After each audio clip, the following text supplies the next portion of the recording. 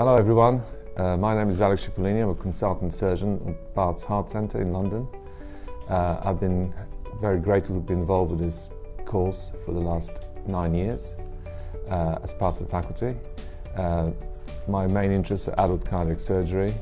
I got a special interest in uh, aortovascular surgery with thoracoabdominal and arch aneurysms and I also have specialist interest in doing hypertrophic cardiomyopathy and myectomies.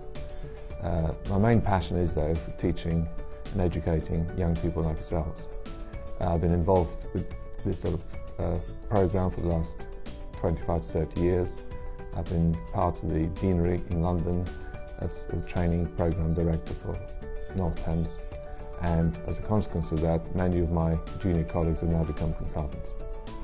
I'll be delighted if anyone fully engages with our program, ask as many questions as possible at the right time and have a successful career and outcomes with exams. I wish you all the best.